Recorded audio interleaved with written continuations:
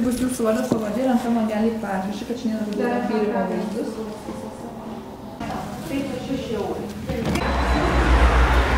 Na štai, MRT padarytas tyrimas, kurio tikrai, nu, teko palaukti, bet dabar jau ir į flešiuką įrašė visą medžiagą, o galutinis atsakymas bus po trijų dienų, bet tai labiau būna atsakymas, o ne, nu, kaip diagnozė, bet, nu, tikrai ne gydymo būdas, tai jau su tuo reikalu eini pas visokius kinesterapeutus, traumatologus, daktarus, nu, žodžiu. Ok, lekiam.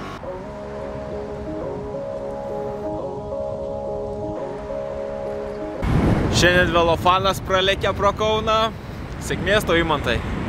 Tikiuosi būsi topė. Į dieną po 300 kg tikrai yra ką, ką veikti. Po tiek vinioti, tai reikia kiaušų. Nu, o šiandien turėsim dar vieną filmavimą. Paprastesnę mašinytę. X1 BMW. Tai va, sufilmuosim. Ir taip. Bėga tos dienos.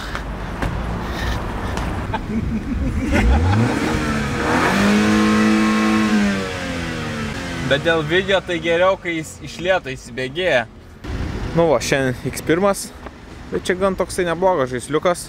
2 litrai į ir 170 kW. Tai aš jau savo dalį sufilmavau. Dabar kelsim dronelį, tai dar Ignui palieku apfotografuoti. Sakom, gal kažką tokio miestietiško miesto automobilių, tai atvarėm ant stogelio prie Žalgirio arenos. Mano ten salytė. Dabar visą laiką yra tokia baimė su dronu, kad vėl kur nors nekalti. O plus, kai čia nuėjo šalia bažnyčios bokštai, tai vėl tokia, toks nejaukumas, plus dar šitie apšvieto, apšvietimo stulpai. Tai reikės atsargiai suskraidyti su dronu. Bet va, kai skraidžiau, kai filmavom Dodge Challengerį, tai va buvo tas toksai šeikinimas. Kameros čia jau grinai toksai mechaniškai pažeista, reikės keisti kamerą. Kartais jisai dingsta, tas šeikinimas buvo dingęs, kai filmavau Dodge'ą, kaip dabar gausi su X, nežinau. Bet uh, šiandien kaip ir turėčiau jau gauti ir antrą DJI. Tai nežinau, ar turėsiu laiko pasimti, jeigu ne, tada rytoj. Tai jo, naujas dronas, bus vėl reikalų sukalibruoti, pririšti prie telefono, nu žodžiu, kaip visada. Na, bet šiandien gal mano įras nesispirios, sufilmuos normaliai.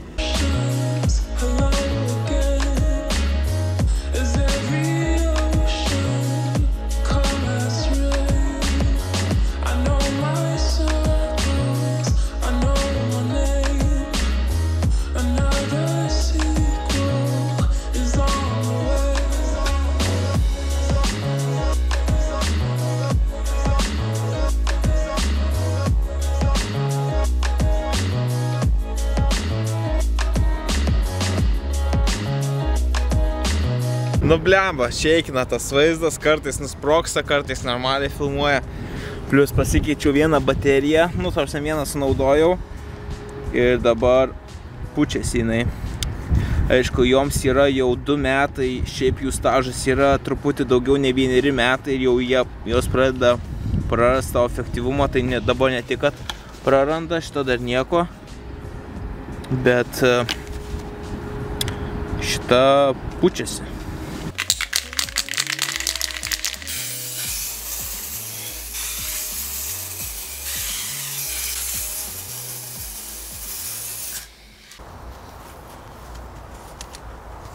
Wow!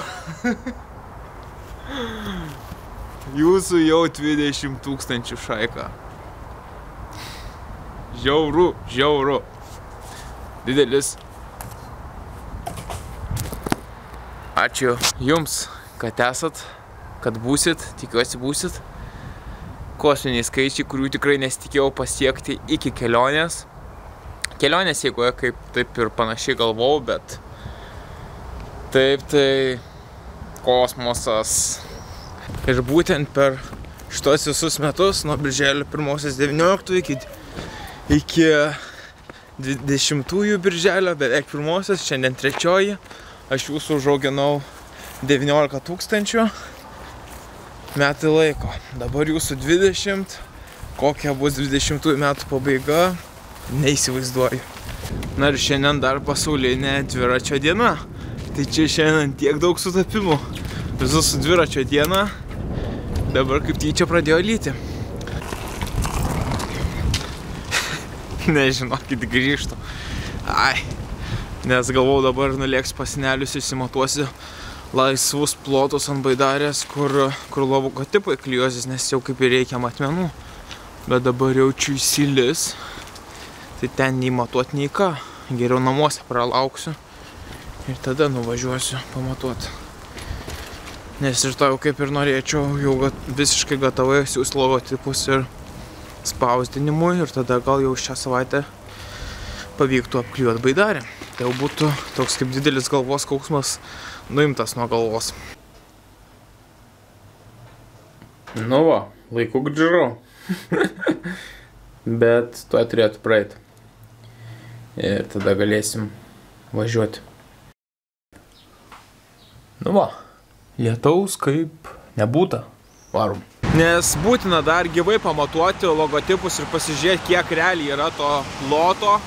Nes yra viena nupaišyti per kompiuterį juos ir suskaičiuoti ir kita yra, kai gyvai tu pamatai ant baidarės, ar ten realu yra, ar visgi ta vandens linija ne toj vietoj. Tai dabar varau, pasimatuosiu viską.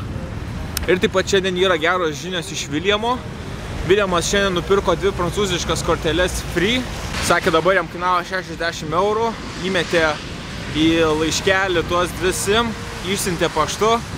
Tai artimiausiu metu gausiu jas. Tai bus mano kelionės internetas. Kiekvieną mėnesį po 50 GB turėsiu. Kas bendroji sumoje kainuos apie 260 eurų. Kažkas tai tokio. Nu žodžiu, biškai kainuos, bet interneto tai reikia. O dar rytoj užsuksiu į savo šitą servisiuką, tai duosiu savo mažą kompiuką perrašyti Windowsus, reikia prieš kelionę truputį refreshinti.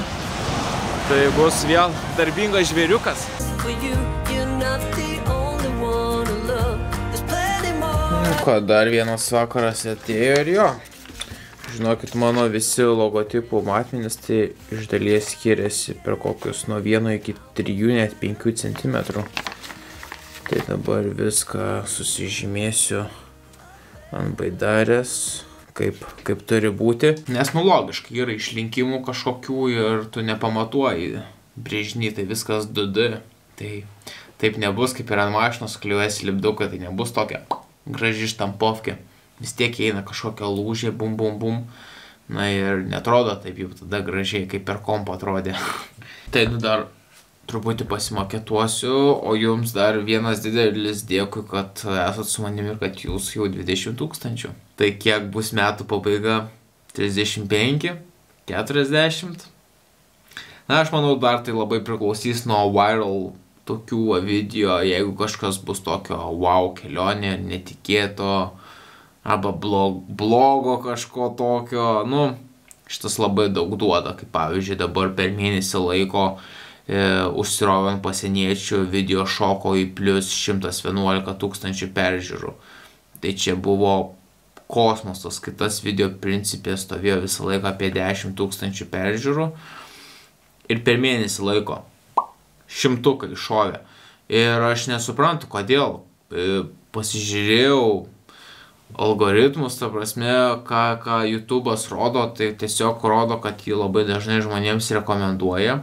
Aš manau, gal dėl to, kad tai yra raktažodžiai pasienis, e, pasieniečiai ir dabar lietuviai visi nori jau greičiau ištrūkti iš Lietuvos, pakeliauti užsienį ir pradeda gal daugiau domėtis pasieniu, sienos zonom, atidarimų sienų. Ir tas pats raktažodis, aš manau, va dabar per paskutinį mėnesį labai, paskutinius du mėnesius labai intensyviai ėjo. Tiek žiniasklaidoje, tiek socialiniuose tinkluose. Ir manau, tai ir lėmė, kad tas video, kur buvo įkeltas prieš du metus ten po senovį, jisai taip, uu, žinom, pas ir video geras, nieko nesakau, bet kad antiek šauti iki 111 štukų peržiūrų, bum, bomba. Tai va tokie va, kai iškyla, tai automatiškai ir prenumeratorių kur kas stipriai uždirba. Vien tas video, man atrodo, ar 8 ar 600 prenumeratorių man priaugino e, per tą visą laikotarpį. Tas vienas video. Tai va, kai tokių daugiau išeina, nu, tai logiška, kad ir prenumeratoriai kils. Tai čia jau kaip, kaip pasiseks, kaip kas, bet jo, smagu, kad jūsų tiek yra, kad jums patinka, ką darau. Ir iki rytojus, bičiuliai. Iki.